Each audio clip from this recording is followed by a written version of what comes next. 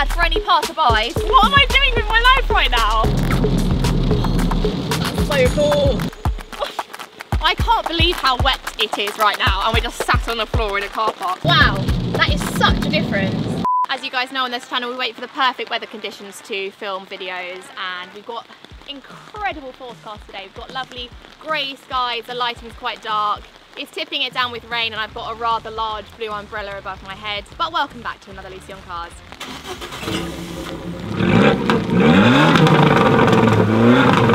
Now all these big car YouTube channels get these beautiful press cars loaned from the manufacturer themselves. I'm still on the smaller side, so I'm basically borrowing my family and friends' cars to film these reviews right now, hence the very random selection of cars we've seen on the channel recently. Without further ado, I'd like to introduce you to today's reviewed car of choice. Behind me, the Fiat Abarth 595 Trofeo Special Edition. It's a lot of fun actually. It's a very interesting little car. It's a car that I haven't driven before until today. I drove it to this car park today and I'm going to give you guys a full review today, what it's like to drive it for the first time. And on this channel, I like to give you real life reactions to things, hopefully give you an idea of what this car might be like to own if you're looking to get one yourselves. I actually can't quite believe the weather today, but we did pay for the insurance already on this car today without checking the weather forecast and we're just going to deal with it. It is what it is. The show must go on. We can't wait for sunny days around here because there aren't any. Welcome back to the channel. If you're new around here, please subscribe and give the video a thumbs up if you enjoy it today. I've been loving reading the comments recently. There's been some interesting ones. I might read some of them out later on in the video. I've been kind of subject to some interesting comments recently. Um, but yeah, keep them coming. Let's head inside quickly and we'll give you a rundown of the spec of this car. Sure, walking into the car shot is going to be disrupted by the fact that I have to now put an umbrella down. Hang on. Open the car door first. Half get in, close the umbrella. I was like, oh God, that didn't go to plan. I was like, oh, awkwardly scoop myself in, but carry on. So this is a 2018 Fiat Abarth 595 Trofeo. It's got a 1.4 litre turbocharged petrol engine which gives out 160 brake horsepower and the standard Abarth is 140 so you're getting another another 20 brake horsepower which I think 160 is a lot for a 1.4 litre engine. It was like a very, very big jump up to me. It's got a 0 to 60 of 7.1 seconds. So it's a very, very powerful car. However, you guys know recently I did a review on the Volvo V70 and I said it wasn't really a car that I would find that exciting because it's not like a fun, exciting driver's car. However, this technically is a fun, exciting driver's car because how it's kind of marketed as the kind of revolutionised concept of the traditional sports car. However, I've never been that excited by Fiat's, Fiat 500s, this shape of car, this kind of like hot hatch style. It's never really excited me. So I hope that today I can change that opinion, I can change my mind and see if this could be a car that I'd own in the future. I'm going to be totally honest that I've never been that into these cars particularly. I can appreciate that there's a big community for them. However, I feel like I don't really fit underneath that umbrella. I know that the Abarth community is very strong. There's a big community in the UK. I know there's meetups that happen quite frequently and the person whose car this is actually goes to the meetups themselves and it's it's got such a strong community. However, it's not anything that I've ever dabbled in, but of course I've got this opinion with nothing to back it up because I've never driven one. So basically, I'm talking a load of rubbish, but by the end of this video, I'm gonna have a valid opinion from having actually driven it. What I do appreciate is that this is certainly not a sporty Fiat 500. It's a total different ball game. They've not just, I don't know, sometimes you might pick a sport option in a car and they'll put like a little sport sticker or something here or give you like a different steering wheel. This is a totally different car. They've stuck on a dump valve. We've got a quad exhaust on the back. It, it really feels like a good car to drive. I'm really happy that it's manual as well. We've got a manual car again. You guys know I love a manual. We've got scorpions absolutely everywhere, including the non-factory fitted, but the ad added on after Scorpion, what is it, is it an air freshener? I've actually never given this a sniff. Let's have a look. Here it is an air freshener. It doesn't look like one. I thought it was just a piece of plastic hanging off the, uh, the rear view mirror, but that does in fact have a uh, warming vanilla scent. Very nice. We've also got the yellow seatbelt here, which feels quite racery. That's the thing with this car, they've really made it look sporty and really made it sound sporty. There's a lot of detail going on and it makes you feel like you're about to drive a very fast car. It kind of excites you when you're sat ready to drive. So without further ado, I thought the rain had stopped then. It hasn't. Let's start this car. Actually, can we just have a quick shot of my feet, please? Bizarre. Look down here, I've put my phone light on. Can you see that on the camera, George? So I've got fairly chunky boots, probably my fault But when I've got my foot on the clutch, I'm pretty much on the brake at the same time. And equally, when I've got my foot on the brake, it's easy to accidentally tap the accelerator. The, the pedals are very close together. You either need very small feet, which I do not have, wear smaller shoes maybe. They're not really designed for chunky boots. Um, it's fine, I've driven fine and safely with them, but if this was my everyday car, I don't think I'd be wearing these boots very often. It's sometimes nice to have a good old fashioned key turn to start the engine. You don't get many of them these days. We can turn that light off now if I'm driving. There's something quite nice about physically putting a key in, turning it to start the car. I miss that in cars where it's um, keyless ignition. I never, I never got my head around the whole card slot one. I remember we had one when we were growing up. I think it was a Renault. I've got a funny memory of it of this like plastic thick card that you put through in the little slot and I always found that to be a bit weird a bit like you're sort of um, playing with like a kid's toy car I don't know I didn't like it but anyway good old-fashioned key to start I'm yet to find if this actual seat can go up I'd quite like to be a bit higher because I feel like there's just so much above my head right now However, I can see enough and it's fine and we'll make, make it work with how it is. Uh, we are steaming up, so I'm gonna have to quickly put this on full blast before I drive off so we can actually see. One sec.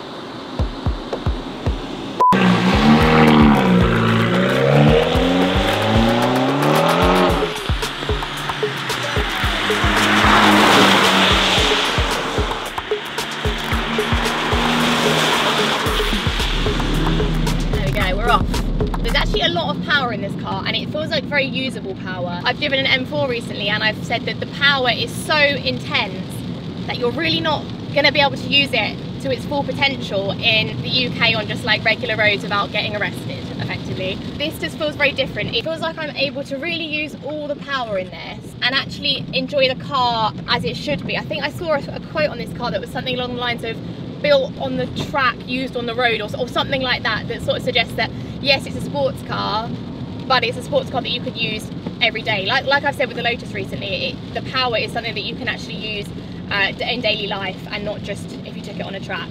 I mean, this, this isn't even with the sports button on yet. The sport button, it gives you a lot more torque and opens up the exhaust so it's a lot louder and a lot more fun. I think there's nothing wrong with liking a loud car. I know some people turn their noses up at really loud exhaust and think, oh, it's antisocial and it's too noisy. I personally really like a loud car and I think it's a lot of fun. So I'm in third gear now, 39 miles an hour, and even without the sport mode on, there's a lot of torque, there's a lot of pull in the higher gears. So second gear, 40 miles an hour, we're going up to third gear now. You really feel that turbo kick in and there's just so much power from such a small car. But I do have to say I love the driving position. I can really see everything on the road. I've got great visibility right now. So we're in an area with a lot of roundabouts and it's great to really test the handling out. And I have to say, Shakira would not like this car because there's not a lot of body roll at all, if any. Gosh, the roads are really flooded. Whoa, I'm pretty sure we'd drown in that right now in this car. Yeah, it really does stick to the road and it's obviously front wheel drive, but the rain might make you think that this would feel a little bit more wobbly. I'm gonna get over quickly. But actually, I'm sticking to the road very nicely considering. It's quite noisy in here though, I have to say. I mean, obviously the engine's noisy, but because of the rain and because of, I don't know, maybe the low profile tyres, but it, it, feels like a quite a noisy, noisy place to be when we're on the uh, quicker roads back there. But yeah, going around this roundabout fairly fast, no movement whatsoever. It's really nice. Just gonna press the sport button once I'm off this roundabout. Let's move over. Everything goes red. Wow, that is such a difference. Oh, it's, it's so fun. It's really fun. I never thought I'd say it, but it's really fun. Let's go back down to third quick. That's so cool. That is a huge amount of fun. There's so much power when you're already at sort of 40, 50 miles an hour, knock it down a gear, and we just flew. So some people say that when driving in Abarth, you kind of feel like you're sitting on top of the car rather than in it, and rather than you're sort of like behind the wheel driving it. I mean, I have to kind of agree with that statement. It's not a low down sports car like your, your classic sports car, it's not a Lotus, it's not an MX-5, it's not I don't know, like I, I, wouldn't expect to feel like I'm sort of integrated within the car because I am technically sat quite high up and quite upright for a sports car. But I don't, I don't know, I do feel quite, I do feel like I'm driving the car, but I have to say the steering isn't particularly responsive. So I'm sort of able to wiggle the steering wheel around a little bit and nothing actually happens. There's not that much feedback. It doesn't feel super direct. So if I sort of turn a tiny bit, nothing really happens. You've, you've got to, you've got to steer more than you think you should have to steer uh, to get anywhere. And speaking of steering, the turning circle is pretty bad as well. But these are all fairly minor things. And I, I think, to be honest with you, if, if you like the shape of this car and how this car looks, and you like sporty cars, fast cars, you like cars that are fun to drive, I think this is a really great car to go for. But like I said, it is, I guess, I suppose it's a niche whether or not you like the shape of it. For me personally, if I was looking for a sports car, this probably isn't where I'd look. It's not particularly to my style, but that's obviously total personal preference. I could definitely appreciate these cars a lot more now than I did before I drove one.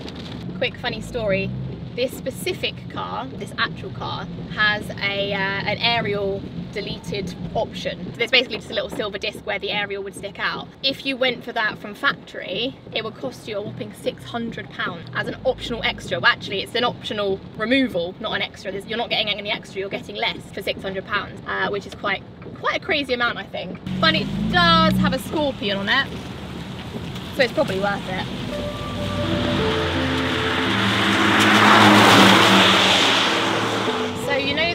Arcade games, the cars that you sit in, or like, so you've got a big screen in front of you, a steering wheel stuck on a little box, and then you've got a couple of little pedals to play with at the bottom. So it's like as close to a car as you're gonna get when you're seven years old. I have to say the clutch resembles that slightly. It's the lightest clutch I've ever driven. Honestly, you have to put zero weight on it and it just goes flat to the floor. It doesn't even feel like a clutch. You get nothing back from it. It's the most selfish clutch I've ever met, but I mean, it doesn't really matter. I don't think people drive cars and think, oh, that's a lovely clutch. Like, I don't particularly care about clutches, so it is what it is. And I think if you had the car, you get used to it fairly quickly. But it did really stick out to me when I first drove it as like, oh, wow, that does feel very, very light.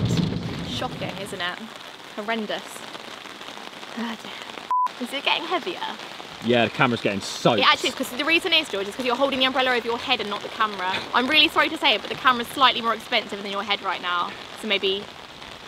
Anyways, this is the car from the outside. They've got it in the podium blue colour with the Modena yellow highlights. So we've got specks of yellow around the car. I think if you're having a car like this, it's definitely fun to go for like a big, bright, vibrant colour with the contrasting. It's probably not for everyone, but I think it's quite fun.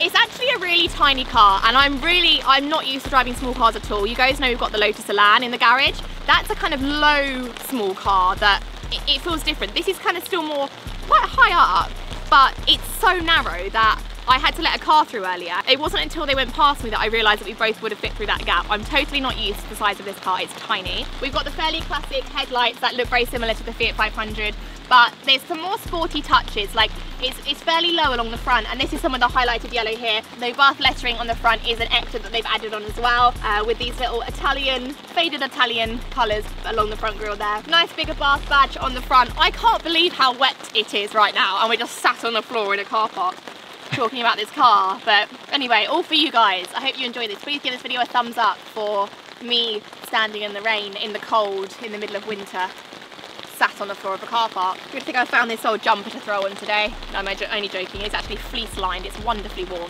Now round to the wheels, we've got some, let me go this side, we've got some 17 inch alloy wheels in black with some more yellow detailing here. The Scorpion badge, I do think Scorpions are quite a cool animal. I think it's quite a good animal to go with this car. I have eaten one in Thailand, can't say they're to my taste, very crunchy.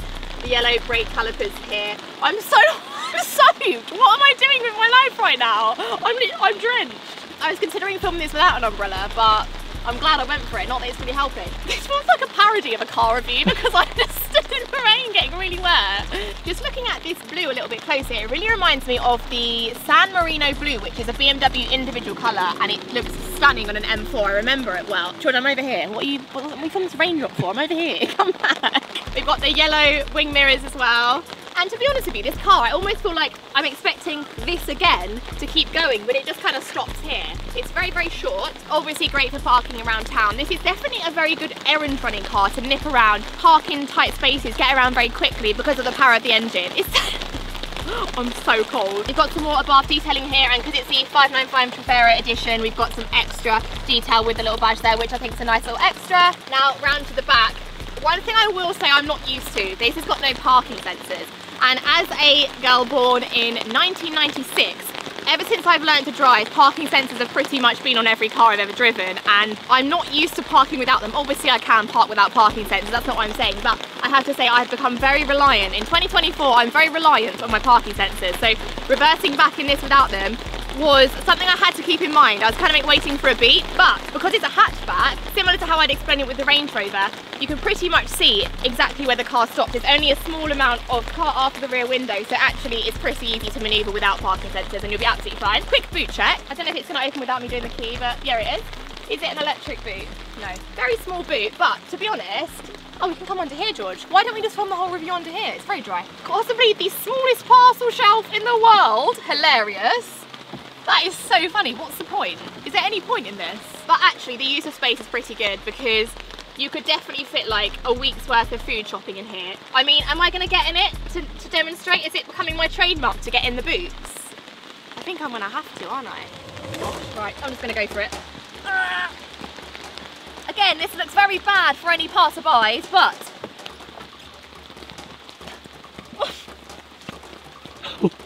I'm in! I did it! I'm not comfy, but I did it! If this video doesn't get any views, I'm... And we can't be around the back without mentioning the lovely quad exhaust down here. Very noisy, quite exciting when you're driving, hearing this car going along. When you turn on the sports mode button as well, it opens up the exhaust and it, it really does sound amazing. So let's quickly thought I'd turn that off. Let me try that again. There you go. I thought I would now talk about the interior of this car because I've got quite a lot to say about it actually. First thing to note is I'm not used to being this close to my passenger. I know we're boyfriend and girlfriend, but there's really not much room. If you just point the camera down here quickly, George, that there's literally like, what is that? I've got, I mean, my hands are fairly large, I would say, fairly big hands. There's like a hand hands worth of gap between the two seats and in the BMW and the Range Rover we've got a centre console that would take up this space but there isn't actually anything there at all it's just the handbrake and some holes for your seatbelt so there's really not much in terms of space inside the car. However, despite that, it, it still feels like I'm not cramped and I'm not in a really tight, tiny car. It, it's a small car inside, but I feel like the space is fairly well used. Maybe because of how tall it is. There's a lot of room above my head right now. It, it's kind of deceptively big inside. Like, there's quite a lot of extra space, despite the fact that it is a, is a small car, technically. I, I don't think I'm explaining that very well. Everything's very kind of upright and flat, as opposed to in the BMW where things are more slanted, that takes up more room. This is kind of all pushed to the side, allowing there to be a lot more more space um, around the driver. So steering wheel, I really like the steering wheel. I think it's got a nice feel to it when you're driving. There's little grips along here. It's leather. It's really comfy to hold on to when you drive. I like the little silver detailing at the top here. I think it's quite a good looking steering wheel. Fairly simple, fairly straightforward with its buttons. We've literally got buttons for phone calls and up and down, a volume switch, voice control and a mute. So very simple and I, I, quite like that. I think sometimes manufacturers overcomplicate steering wheels and they have too many buttons on them but really when you're driving there's only a few things you're going to want to do. It's actually a really big steering wheel for the car and the fact that it's squared off at the bottom it's giving that kind of Audi sporty feel. The stalks feel fairly fairly plasticky. I mean it actually is quite smart looking inside. All along the dash there is this kind of uh, like a gunmetal grey it is plastic, but it looks like almost metallic, which to me is actually quite a lot nicer than all the Fiat 500s I have seen, which are like this kind of shiny, plasticky cream thing that kind of looks like a pretend like a Dolly's car or something that you'd have um, when you're a kid. So this is definitely nicer for me, much more sporty. All the dials are fairly straightforward here and fairly simple, but I do like these silver ringed buttons here with a kind of glass over the top of it. It gives it a bit more detail, a little bit more going on. And actually, I, to be honest, I do think there's quite a contrast here. I think this looks very basic, but I think this looks more luxurious. So it's interesting that they put these two side by side. This looks kind of Aston Martin, and this looks kind of like a, our builder's van. We've got a funky shaped screen at the top here. It's kind of My Parents Are Aliens-esque shape going on there. And something I have to say I don't like in this interior is this. It's like a webcam, it's like I'm sat on MSN. It's in the way. I know people say that heads-up display is love-hate, but you can turn that off this is stuck on. You very much can't take this off. I mean, you could probably snap it off technically, but it's advised against. It's basically a boost gauge for the turbo. So it's interesting to see, but I don't think I need to see it all the time. And I wouldn't mind it if it was hidden away in this menu here, or if it's a setting you can put on here. I'm not sure why it needs to be higher than the steering wheel and in my line of sight while I'm driving, it doesn't make much sense to me. The seats are pretty comfortable. They're quite upright and they're not I don't think I'd want to do a really long journey in this car.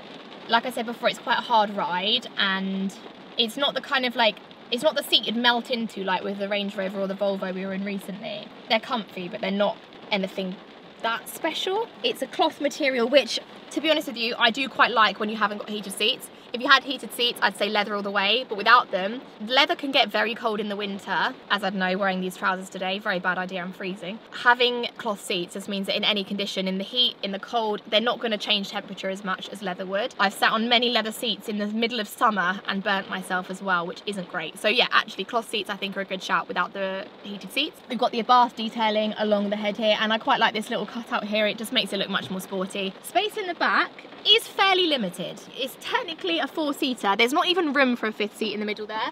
There's literally not a fifth seat. It's not like one where it's like two and a half seats. There's literally, I mean, unless you were this small, like this, which I don't think anyone really is these days. These days? Like they were before. What, what do I mean these days? What do I mean? Yeah, very limited seats in the back, but it's a two-seater with a space for two people in the back sometimes. I wouldn't say it's like a, an everyday four-seater car. I'm not sure how you'd fit baby seats in the back. I haven't tried that. You'll have to ask Dad Cars to try that one out for you because I'm not getting the car seat out in this weather, no chance. But generally it's a nice place to be when you're driving. I don't have many complaints. There's some bits I quite like, there's some bits I'm not sure on, but I'd say my review of the interior is pretty good. So to summarise, it's hard to compare this car to any other car that I've driven or that I can think of off the top of my head. It's really in a class of its own. It's not your classic sports car. It's not your classic hot hatch, really. You can't relate it to anything like that at all. So it really is different and unique. It's a very unique car and it's, it's, quite nice to drive a unique car sometimes. I feel like a lot of the cars I drive are fairly similar. I mean, not right now on the channel. The channel's absolutely all over the place at the moment. We've got ginormous estates, we've got tiny little Lotuses, we've obviously, will hopefully have some nice big Range Rovers back very, very soon. Watch this space. I know I keep saying that, but continue to watch this space because it is coming soon. But really, I can see why there's a lot of appreciation for this car. Whether or not it's for me, I'm still undecided. I'm not, I'm not particularly excited by the idea of owning one myself, but I'm starting to get a greater understanding of why there's such a kind of fan club uh, of these cars because it is a lot of fun to drive. I have had a smile on my face today driving it. It's probably not my style of car that I go for in terms of looks, but like I said, that's totally personal preference and it's hard for me to say, oh, I don't like this car because I don't like how it looks, because that's not really a valid reason, because other people like how it looks but it's a good car to drive it's a lot of fun it's nice and small it's nippy it sounds great. I'd love to hear in the comments if any of you guys have one yourselves or if you're looking to buy one or if you love them or if you hate them or if you have anything to say today please let me know. I am going to flash some interesting comments on the screen from the last video for you to all enjoy reading.